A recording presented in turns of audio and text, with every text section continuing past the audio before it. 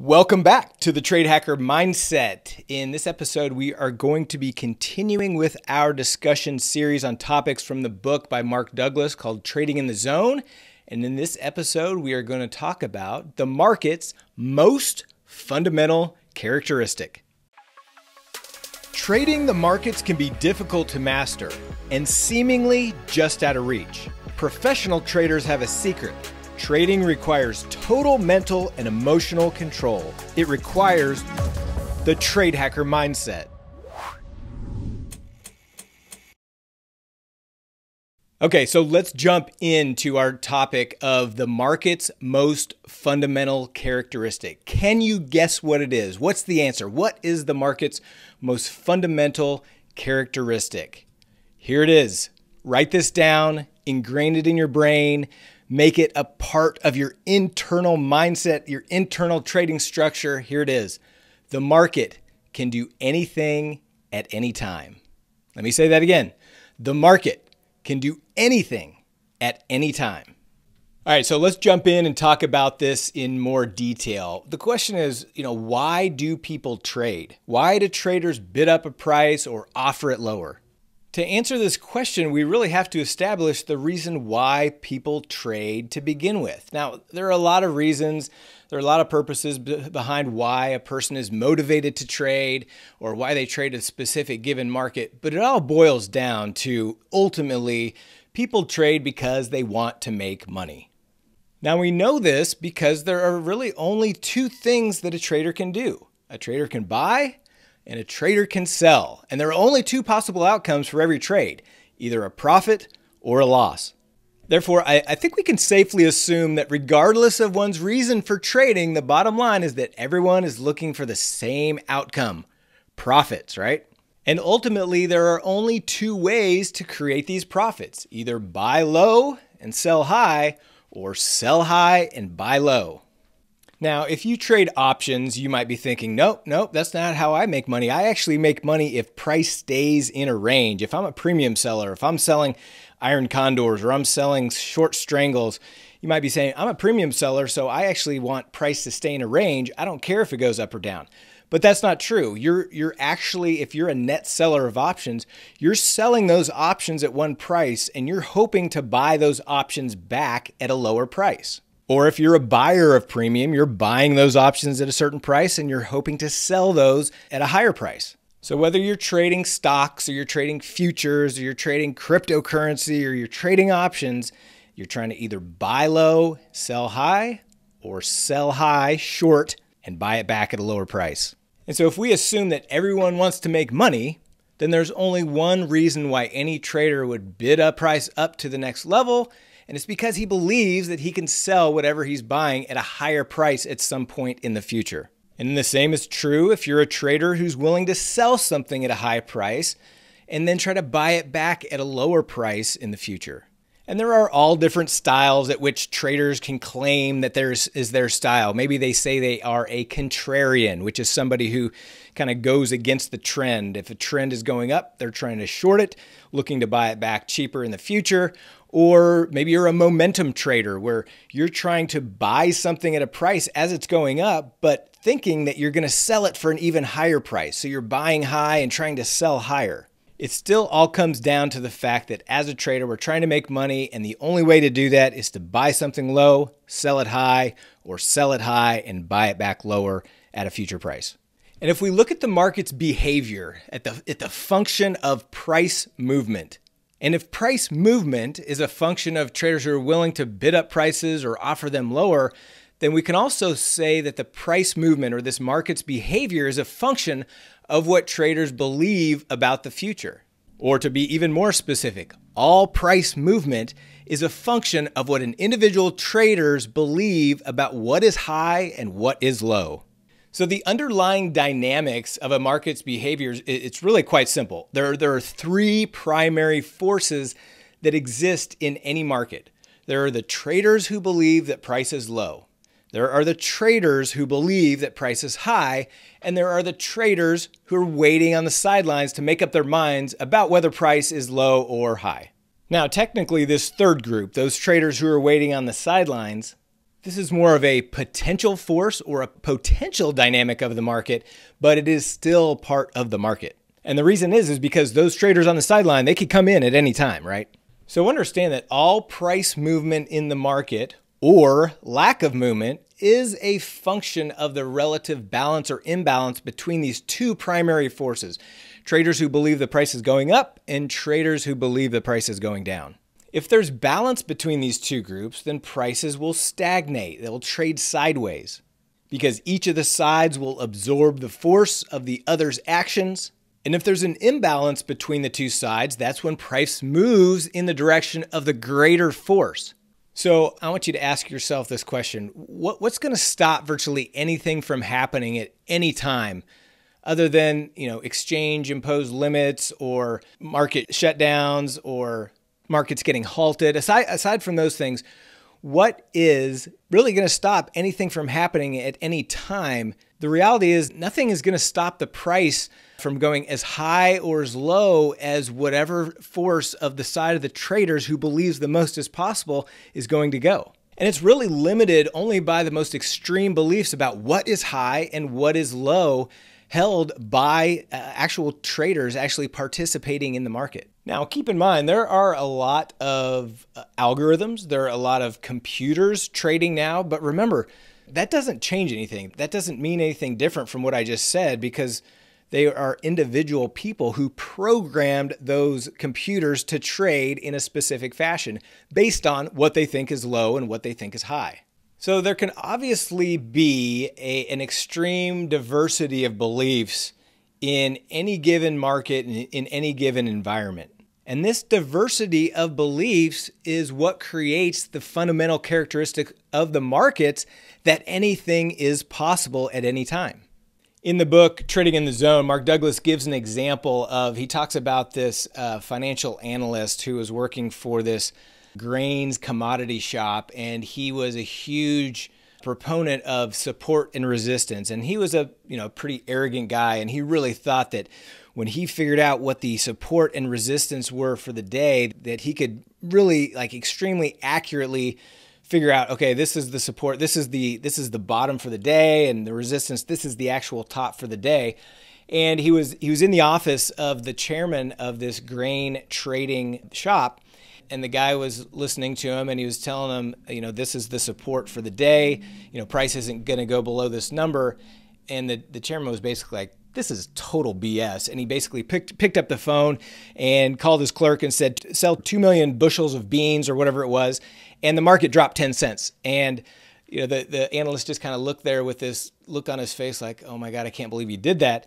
And, uh, and the guy was like, listen, what you're talking, this support and resistance, all these lines that you're drawing on the chart, this is BS because if I can do that, anybody else can that, that has a, that has my size of trading capability as well. Now, we personally don't trade a lot of grains and, and, and we don't trade with that kind of size at navigation trading, but think about this. Think about times that you've seen things happen like Elon Musk send out a tweet. I remember specifically I was in a trade on Tesla. Luckily, I happen to be short. I have to I happen to have uh, some puts on in Tesla, and Elon Musk tweeted that he thought the stock value of Tesla was overvalued, and in a matter of minutes, Tesla stock dropped like 10%.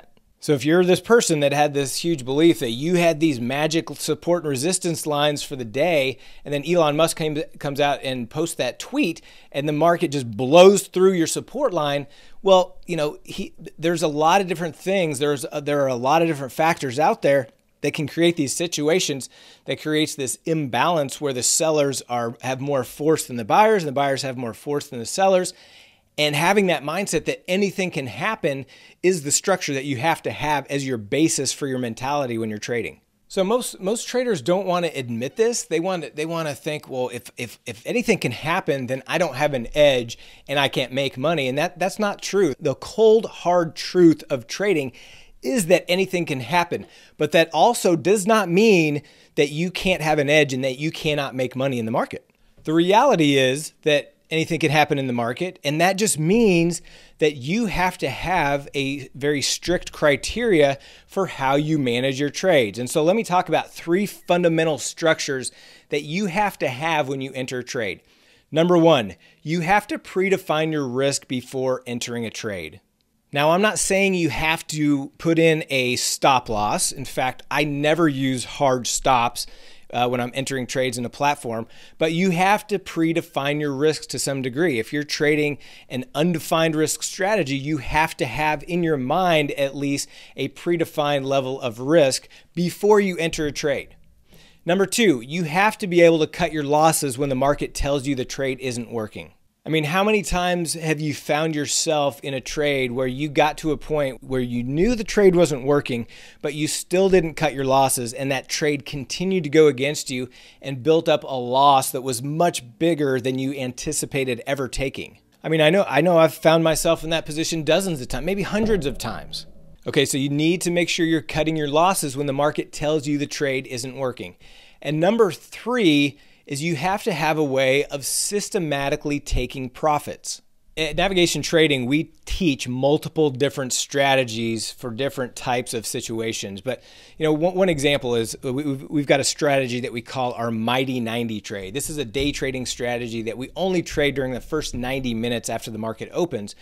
And part of the criteria is for systematically taking profits is once we get in, we are going to take half of the position off once we hit a 10% profit. And then if the trade continues to move in our favor, we're going to scale out and be completely out of the trade after we get two favorable bars in our direction. And in this strategy, we're, we're trading five minute bars. So if we get two consecutive favorable bars in our direction, we're going to be out of the trade. That's a way of systematically taking profits.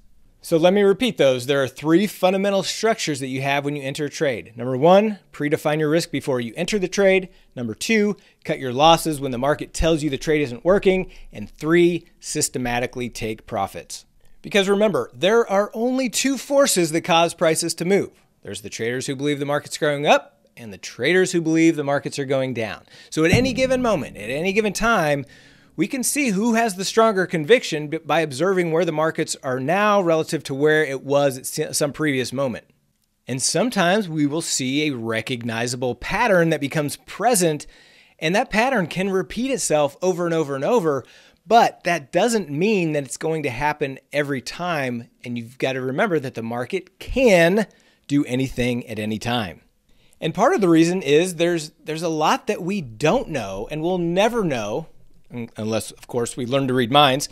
But there's a lot that we don't know. For instance, we don't know how many traders are sitting on the sidelines. Remember, I talked about that third group that are kind of waiting to determine if they think prices are high or low. We don't know, you know, when they are going to come off the sidelines and start wanting to buy, or if they come off the sidelines and think the market's high and start wanting to sell. So there's a lot of things that we don't know. There's the unknown.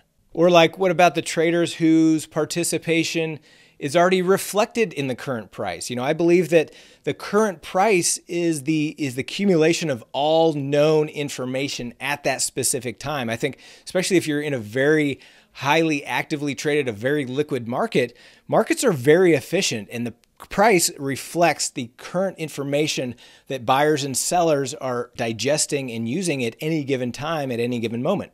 You also don't know you know, at any given moment, how many of these traders who are in the market, who are in a current position, are about to change their mind and exit their position? And if they do, how long will they stay out of the market? And when do they come back into the market? And which direction will they push the market when they do come back in, low or high? So these are all constant, they're never ending, they're unknown, they're hidden variables that are always operating in the market, always operating in the market, always operating in the market. Let me say that again always operating in the market. But here's the key the best traders, they don't try to hide from these unknown variables by pretending they don't exist. And they don't try to rationalize them away through market analysis. In fact, it's, it's, it's the exact opposite. The best traders in the world, they take these variables into account, they factor them into every aspect of their trading. And that's one thing that separates the best traders in the world from the average traders. You see, you see the typical traders just the opposite the average trader trades from the perspective that, you know, if, if you can't see or hear or feel, then it must not exist. So if you have this mentality, then you need to you need to think about reframing your, your mental structure. And, and, and let me repeat, going back to the three fundamental structures of entering a trade. Predefine your risk before entering a trade. cut your losses when the market tells you it's not working, systematically take profits.